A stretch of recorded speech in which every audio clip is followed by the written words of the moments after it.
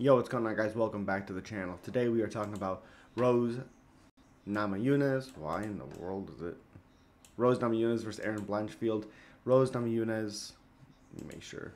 Rose Namajunas is 13 and 6, 3 and 2 in her last five fights, plus 105 basically. Pick'em, 32 years old, 5'5 with a 65 inch reach, 1 inch in height with a 3 inch reach disadvantage.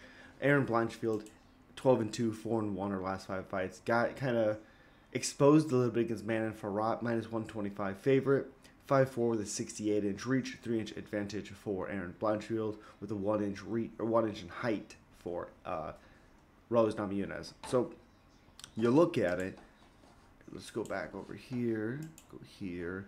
So strikes landed per minute is 5.47 to 3.70 for Blanchfield. Accuracy is 45 to 42. Strikes absorbed per minute 4.34 to 3.38. So she throws a lot, but she's also hit a ton. And with the good volume of Rose Namajunas at 3.70. Takedown average is 2.05 to 1.55. Accuracy is 33 to 53. Takedown defense is 81 to 59.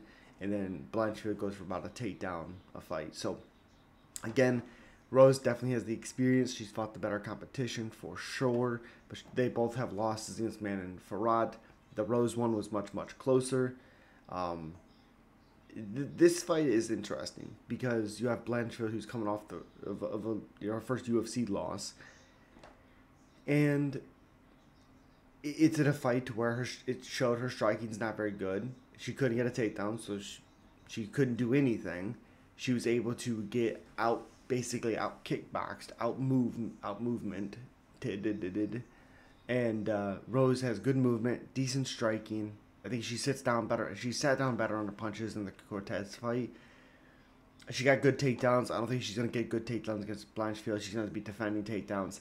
The issue with this fight is I just think at some point Blanchfield's heavy, heavy pressure with grappling is gonna take a toll. It's going to be a very close fight. I say split decision for Erin Blanchfield. I just think that pressure with also the ability to, eh, you know, I don't think uh, Rose is going to, for one, finish her. Two, I don't think she's going to be able to defend every takedown for five rounds. that just kind of seems crazy to me. But Rose Namajunas will make it competitive because that's what she does. But Erin Blanchfield, split decision win. And as always, guys, subscribe, like, comment. Let me know you're picking. Peace.